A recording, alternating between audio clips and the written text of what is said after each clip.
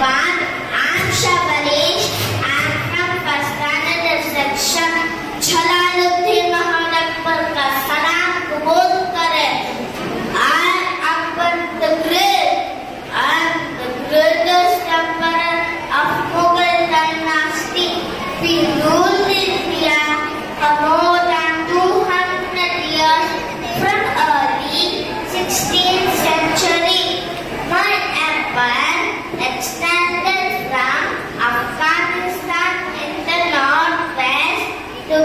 Bengal in the east to Kashmir in the north to Godavari in the south.